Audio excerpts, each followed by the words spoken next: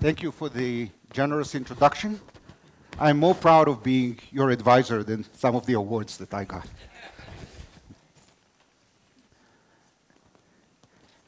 So, first of all, happy birthday to everybody here, and especially to the former director and the current director.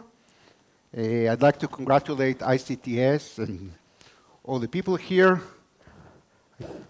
Took a tour of the campus yesterday, and I was enormously impressed by the institute. I also like the vision of the place and the way it's set up. It kind of looks like a perfectly ideal place. And I'm sure it will continue on this path and will be kind of a beacon of excellence worldwide.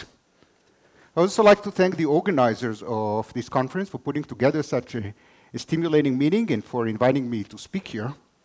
Now, as 10th birthday, one does not usually look at the past. 10th birthday, person is young, looking at the bright future ahead, and in this, in this talk, I'll try to offer some vision for the future. But in preparing this talk, I felt, felt like I have an enormous challenge uh, given the audience on one hand, this is some of the most brilliant people in the world, and on the other hand, we have a very broad spectrum of background here, people from different branches of science, mathematics, and so forth. So what I th thought I should do is give kind of a bird-eye view of physics, and specifically quantum field theory, and in order to do that, I should really start with some historical context. And for historical context, no better place to start is classical physics, and part one in classical physics is classical mechanics, describes the time evolution of a finite number of particles. And two names that I put here are Newton and Lagrange, because as the mathematics of this evolved, Lagrange played a crucial role in his Lagrangian mechanics and the role of Lagrangians. And the language this is being used here is the language of ordinary differential equations. In fact, calculus was invented primarily for this purpose. This is why calculus was invented by Newton and others, and developed further by various French mathematicians and others. And this is a more or less done deal. We fully understand that, and everybody's happy. The first generalization of that came about a century or two later, when instead of classical mechanics, we have classical field theory. And the difference between the left side and the right side is that we still have time evolution, but here we have an infinite number of degrees of freedom not just one degree of freedom, but the whole continuum of degrees of freedom. For example, the electromagnetic field or the velocity field of a fluid or a metric. And I put Maxwell and Einstein here. I could have put Navier and Stokes. And there are other people who contributed uh, to it. Now, both of these, and here the mat natural mathematical language, instead of ODE, we have PDEs, partial differential equations. And the common thing for all of these is calculus. So we can say that calculus is the language of classical physics. We discuss classical physics in terms of calculus. This is the language we use. Calculus is very important. It's very deep. And I thought it, it's appropriate to have one slide to tell you my view of calculus, because we'll contrast that later with things that I will say about more modern developments. So first of all, at the time, this was new mathematics. So the time of Newton, this is Newton, this was new mathematics that had to be invented in order to describe the physical phenomena. And it was usually motivated, was motivated by physics. This was one of the main motivations that Newton had to invent calculus. So these are two elements, new mathematics motivated by physics. Then it had many applications in mathematics, in physics, other branches of science, even in the social science, they use calculus these days. And of course, engineering. This is the hallmark of a deep idea. A deep idea is something that appears to solve one problem, but turns out to solve many other problems it was not intended to solve. So the criterion for a deep idea, it does better than it was supposed to do. It was designed to do one thing and does many other things. I would also say that calculus is a mature field. So let me present a test of maturity. How do we know whether a field is mature or not? So my test is the following. If most books and most courses are more or less the same. So if you go and take a calculus course here in Bangalore or at Harvard or at Santa Barbara or wherever, it, the course will be more or less the same. First, they will teach you how to differentiate, then they will teach you how to integrate, then there will be some differential equations. It's more or less the same logical order. That's a sign that it has been stabilized, the presentation has been stabilized and streamlined. So, so much for classical physics. Let me move to quantum physics. And just as in classical mechanics, we had classical mechanics and then classical field theory, here we start with quantum mechanics. And very much like in classical mechanics, we have a finite number of degrees of freedom, except that here these are quantum particles. Many more people contributed to it. I'm not go through the list of people. And the natural mathematical setup is operators acting in a Hilbert space, or we can describe it using functional integral. There are various other ways of describing it. And now we need to put something in the right column, which would be the parallel of what we had before in classical mechanics versus classical field theory. So here we should put quantum field theory, and it's very much kind of completing the square. We have time evolution of an infinite number of quantum degrees of freedom. Before we had classical, now we have quantum degrees of freedom. For example, the electromagnetic field. So unlike the other three parts of these boxes, classical mechanics, uh, classical field theory, and quantum mechanics, this is still an intense field of study. A lot is known, but there's still exciting progress. We've heard some exciting progress this morning. And my personal view is that, that a new intellectual structure is needed. And if before we had calculus for both, uh, for both columns, and this was ODEs and PDEs, and now we have operators in a Hilbert space and functional integral. Here, I feel that a lot more is needed, and I'll say more about that later. And for lack of a better name, I'll just call that quantum field theory. This intellectual structure, which is still missing, we'll just give it the only name we have. I'd like to emphasize that quantum field theory appears everywhere. So let's go through some of the applications First, in particle physics, this is the language used to describe the standard model. So the standard model of particle physics is enormously successful. Fantastic agreement between theory and experiment. And this is one example. It's not a typical one, but it's a good one. It's the electron magnetic dipole moment. It's known theoretically to enormous accuracy. It's known experimentally also to enormous accuracy. No other branch of science has such spectacular agreement between theory and experiment. So many significant digits. There's nothing in theory, nothing in any science, biology, chemistry, geophysics, even in most of physics, there's nothing that reaches that level of accuracy. And there are two lessons to draw from that. First of all, it really means that we know what we're doing. We really know what we're doing because every digit here probes some other aspects of our understanding quantum mechanics, special relativity, the weak force, the strong force, and so forth.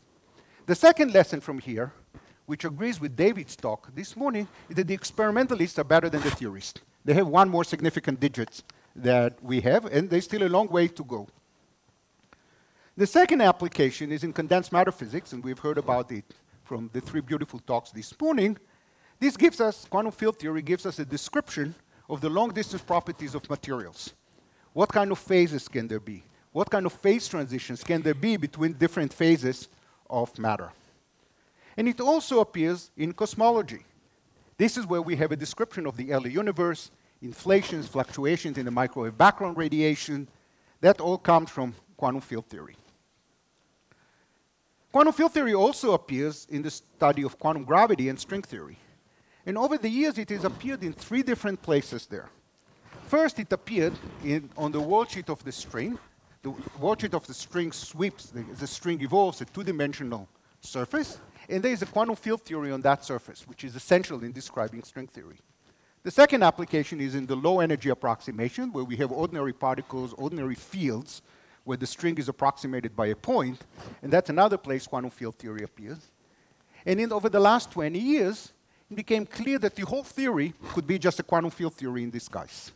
And that came from gauge gravity duality or ADS-CFT. I'll have a little bit more to say about that later. So that was another application. And finally, there's the application in mathematics, especially in the fields of geometry and topology, where results from quantum field theory completely changed some fields in mathematics. In fact, this week there was a school here about Gromov-Witten invariants, which were really motivated by physics, by the study of Calabi-Yau manifolds. That's why the mathematicians were interested in it.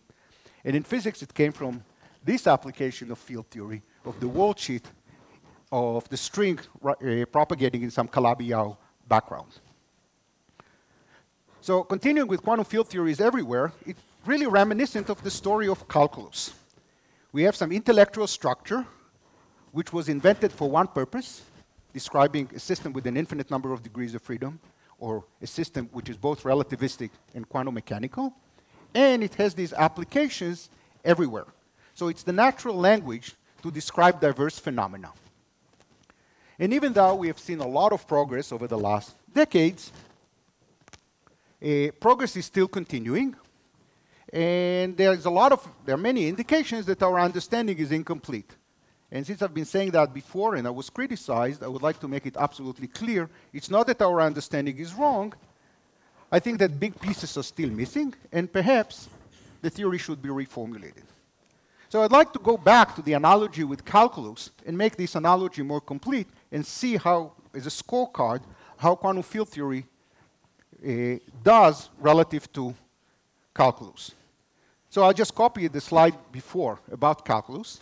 Calculus was a new mathematics at the time. Well, it's clearly new here because to the extent that we know it, we think it's not only is it new, it's not yet even rigorous. So that's even something for the future to make it rigorous. So that's clearly new mathematics. It was clearly motivated by physics, by particle physics and condensed matter physics. So that part is very much like calculus, new mathematics motivated by physics. Many applications, both in mathematics and in physics, very much like in calculus.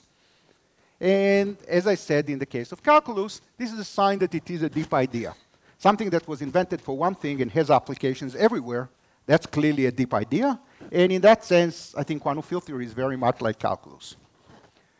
The next thing in calculus in my list was the maturity test. And I recall the criterion. The criterion for maturity was that all courses are taught more or less the same all books are more or less the same. Maybe the examples are different, but it's basically the same presentation. Not true for quantum field theory. If you take two quantum field theory books, they look totally different. One of them starts with scalars and then add interactions. The other one starts with fermions and scalars and gauge fields that are free and then adds the interactions. Another one starts from the renormalization group. Every one of them starts from a different starting point, and the subject has not yet been streamlined, so it's not yet mature. And there are indications that we still miss big things, and perhaps the theory should be reformulated, and I'm going to say more about that uh, soon. So how do we think of quantum field theory? There are two main approaches, and there are other kind of sub-approaches which are smaller. The first is the traditional approach, where we start with the Lagrangian, we write down the Lagrangian and we quantize it. I'll have a few more slides about that soon. And the second approach, which is more abstract, write down the list of operators, and they have correlation functions. And these correlation functions have to satisfy some conditions. I'll have some words to say about that soon. So in this approach, the traditional approach, this one is an outcome. We start from a Lagrangian and we derive the operators. More abstractly, we can think of the operator and say this is the definition of the theory. So let me spend one or two slides about these. So in the more abstract definition, in the more abstract presentation of quantum field theory, we start from a collection of operators, and they have some correlation functions, and they have satisfied some consistency conditions, like unitarity. These operators, are, the correlation functions are single valued as we take one operator around another. We can formulate the theory in curved space and get unambiguous results, and so forth.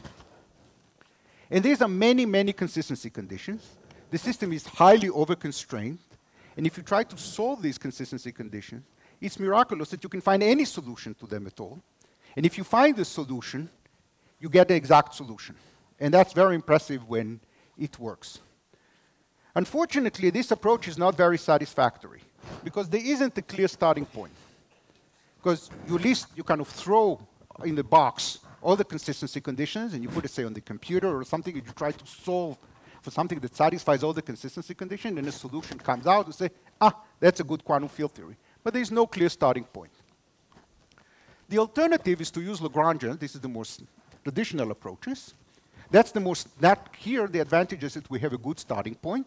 we know what we're doing. We write some classical Lagrangian, and then we quantize it. And we can use canonical quantization or functional integrals. There are other more sophisticated methods. Here we need to regularize to make the theory make sense. For example, instead of having a continuum, we can put a lattice there. And in condensed matter applications, the lattice is actually real, so it's not something that we just add to the system. Here, the challenge is to prove two limits. One is the continuum limit, when we take the lattice spacing to zero. And the second, the large volume limit, when we take the size of the lattice to infinity. This is a huge challenge, and all the difficulties are buried in here. But this is one approach based on Lagrangians. This approach leads to a number of questions. So we write down the Lagrangian, we quantize it, and we just follow our nose and do what we can. First question, do we know all possible Lagrangians? Can it be that there are more Lagrangians that we can write down, more terms that we can write down that are allowed, and we haven't yet thought about them? That might look like a strange question to ask, but over the last several years, new terms were added, terms that had been missed before. So maybe there are others. Second question, do we know all the consistency conditions? Can there be more consistency conditions that have not yet been imposed? Also, sometimes two different Lagrangians lead to the same physics. That's the idea of duality. So that's a strange starting point because it does not uniquely, it, does not, it specifies the theory uniquely, but the same theory could have more than one Lagrangian. And I'll say more below. Now, when are Lagrangians good? Lagrangians are good when they're weakly coupled. So we have a theory which is almost free, and the interactions are small, and they come in three varieties. Variety number one, here the UV is short distances, and the infrared is long distances. That's the terminology. We have a free theory at short distances, and it becomes more and more strongly coupled as we come to the infrared, to long distances. And we can say that at short distances, we formulate the question. This is a question. This is what the theory does at short distances. And in the spirit of reductionism, emphasized by David this morning, we formulate what's known, what's known at short distances, we ought to find the answer is what happens at long distances. So this is the question, and this is the answer, and I put a question mark here because often it's not easy to find the long distance behavior of the field theory. And these are some examples. The alternative in uh, the second possibility of having weakly coupled Lagrangian is that we have a free theory at long distances. For example, 3 plus 1 dimensional electrodynamics or chiral theory of pions. And here the question mark is in the ultraviolet at short distances. So here we know the answer, and we ask ourselves, what are the possible questions that can give us this answer? And again, there could be more than one, more than one question that gives the same answer. The third possibility is that we have a family of scale invariant theories. One of them is free at one end, but then the theory becomes more and more strongly interacting as we move to the right. And we have various examples of such theories, theories that are, it's a family of scale invariant theories. Some of them are free, and it, one of them is free, and then the interactions become stronger and stronger. And the Lagrangian is useful, this whole way of thinking in terms of Lagrangian is good when the theory is free or the interactions are small. And it's totally useless when the interactions are large. I'd like to emphasize that the Lagrangian is not good enough. First, there's a question I've already alluded to of strong coupling. The Lagrangian is fantastic when it's weakly coupled because then it's kind of WYSIWYG. What you see is what you get. You see the fields, that's what you have as the answer. But then when the interactions are strong, it's not WYSIWYG. You can start with one set of degrees of freedom and end up with a totally different set of degrees of freedom. And that's when quantum field theory is interesting. And it's usually hard to determine the behavior at strong coupling. I should also emphasize that whenever exact solutions are known, the way they are known and the way the solution is found is not by using the Lagrangian. There are some exceptions, but by and large, exact solutions are found not by using the Lagrangian, by using, but by using the more abstract point of view with the operators and their correlation functions and their uh, consistency conditions. That's how most systems in two dimensions were solved in one plus one dimensions.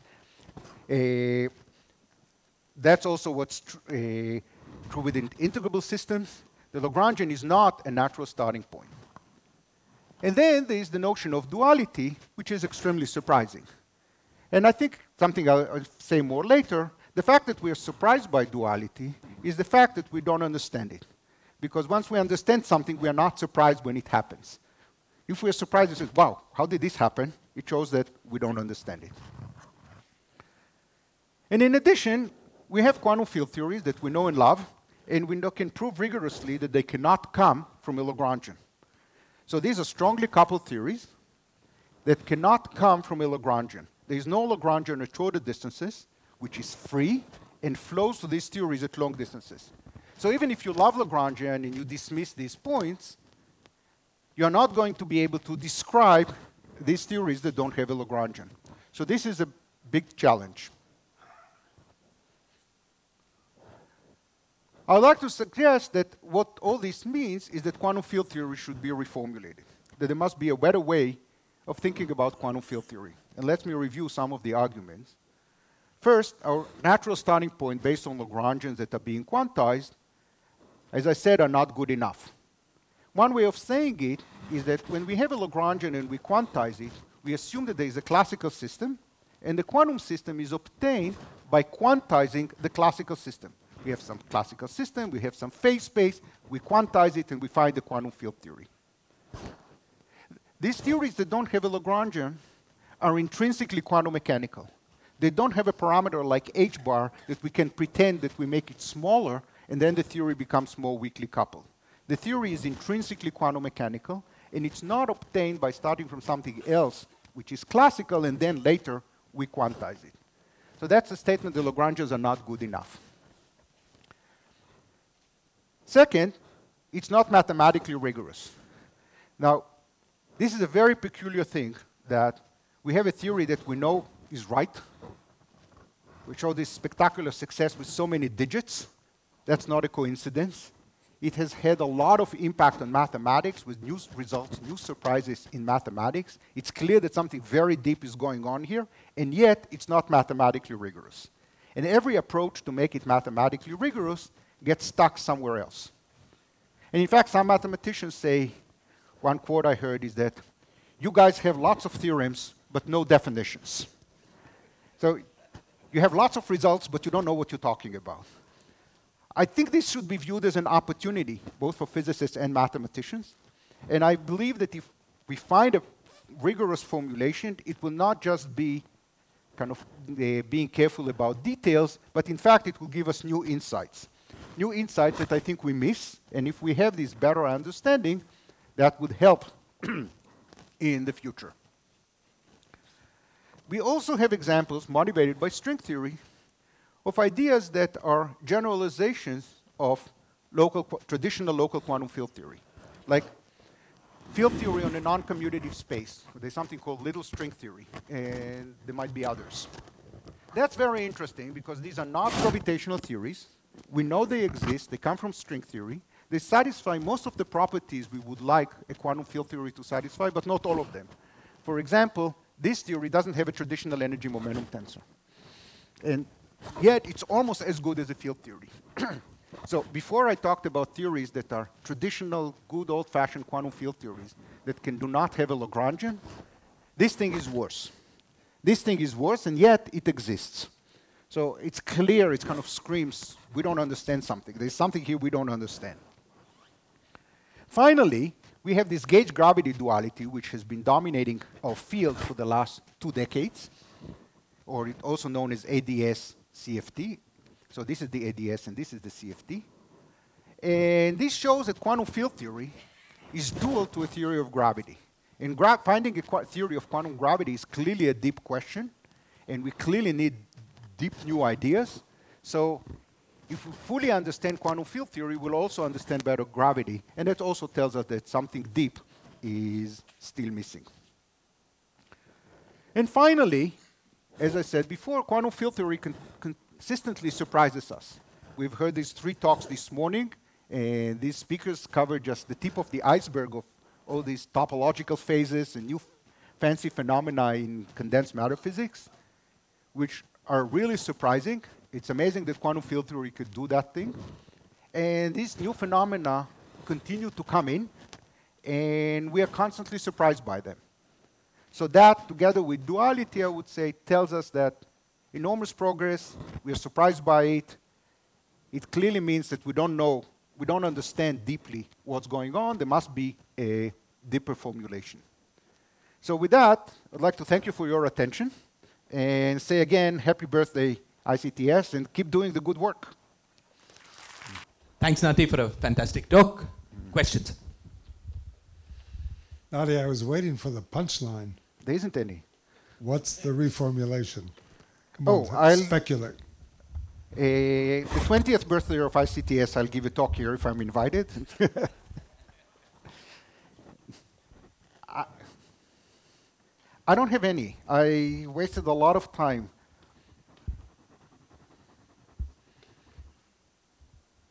If I really had to go on a limb, I would say that this separation between short distance and long distance should go away.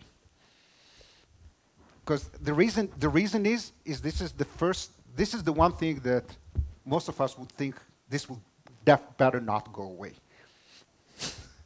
so that was one argument. The other argument that I can throw into the mix is the issue of uh, the hierarchy problem or naturalness. For, for many years, I believed in naturalness. I am still a believer of naturalness, but we have to face reality. The LHC has not yet found anything. So it might be that that's just the way things are. It might be that there's something the LHC misses and it's just around the corner. I would still hope that this is what's going on. But it might also mean that there's something basic about quantum field theory which would make this whole question of naturalness just go away. I have nothing to add to this, but it again speaks about these long distance and short distances. You're not satisfied with, the answer. I can tell you one thing, I'm not satisfied with this answer either. That's the best I can do. already you are giving the answer where we are missing something. Basically, we are talking about short distance and long distance, but there is in between something. Sorry, that? There is in between something. In between some. Yes. In between from short distance to long distance. Yes. So our approach should be to try to understand, starting from some distance, how to go step by step, step by steps Yes. in a distance scale yes. till the end. Yes. As long as we will just concentrate on both the end points, I think we have enough opportunity to miss out a lot of Okay, things. the, the, this step of going from one to the other, step by step, this is what is known as the renormalization group. And this has been kind of one of the pillars of quantum field theory over the last, how many, 50 years now, give or take? Maybe I'm wrong by the counting, maybe 40 years. And this has been enormously successful. And that's the only way I can think of quantum field theory. I don't know any other way of thinking about it.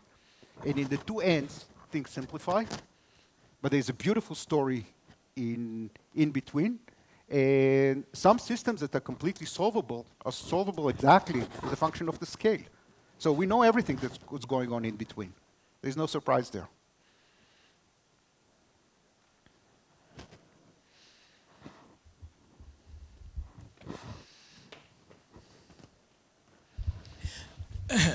so I just wanted to hear your thoughts on simplest quantum field theories, the topological quantum field theories as a possible uh, playground or a place for this mathematical reformulation. There are mathematical formulations of, of this. So do you think that's very special to that case or uh, can one generalize? Okay, so usually when you try to attack a big problem, it's good idea to find a simple one. And quantum, the topological field theory is really perfect for that because on one hand, it's a quantum field theory with all its intricacies, or at least most of its intricacies. And on the other hand, it has finite number of degrees of freedom. It's much more manageable, and it can be made mathematically rigorous. So over the last several decades, there's been enormous progress in formulating topological quantum field theory in a way that is not only more rigorous than the way physicists think about it, but even to the point that it is useful for us. So most physicists have this attitude, we- basically know how it works, we don't care about these subtleties, and let the mathematicians worry about that. that. I think this is completely wrong. And in fact, over the last several years, especially in the context of these topological phases of matter, the state of the art in the classification of topological phases uh, was actually done by mathematicians who tried to do it very rigorously. These are Freed and Hopkins and collaborators. So they did the most complete job about that. And that really relies on heavy duty mathematics, much more than things that I understand. So that's actually a good example of if you try to understand what quantum field theory is, focus on the simpler version, which is the topological field theory. And that's also an example where the more sophisticated mathematics and the, deep, uh, the precise reformulation led to results that surprised physicists, gave new insights, corrected mistakes, and gave a much better view of the subject.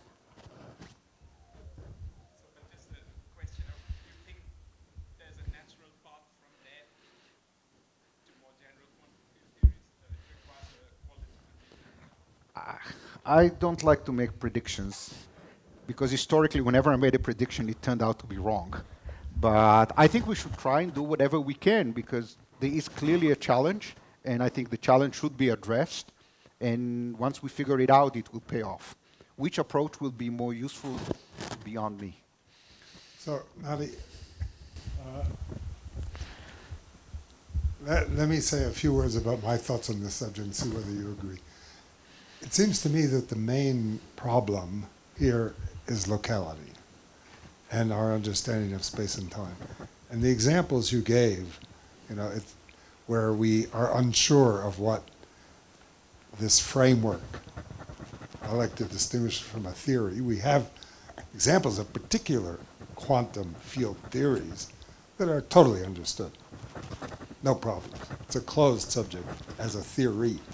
But as a framework, we have no idea where it leads. It includes string theory, it seems. And the ignorance is when we start, say, considering going from the infrared to the ultraviolet, an infinite domain of with higher dimension operators, irrelevant operators, and we have a few examples where we can do that, like field theory in a non-commutative space-time or string theory. But it all has to do with space-time on the one hand. And it all has to do with locality. We get into and on the other hand, as you remarked, uh, string theory appears to be an equivalent way of describing quantum gravity, equivalent to quantum to the quantum field theories we know and understand, which suggests that dynamical space-time is really emergent. Space-time is emergent. So don't you?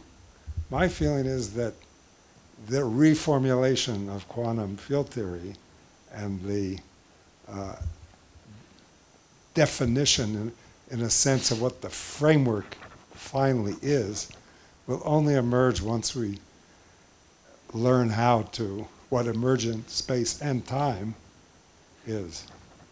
The big, you know, Newton established equations of motion for particles in, in a gravitational field, but it really took a lot of mathematical work and physical understanding to understand, even for single particles, not field theory, what the complete framework is. What, you know, what second order differential equations, et cetera, et cetera, you know.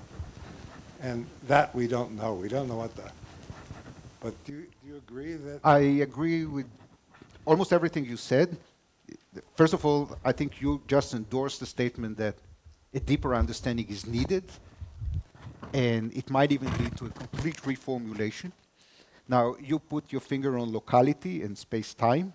When I responded about this long distance versus short distance, it's a cousin of the same thing. Because if you don't have locality, how are we going to separate long distances from short distances?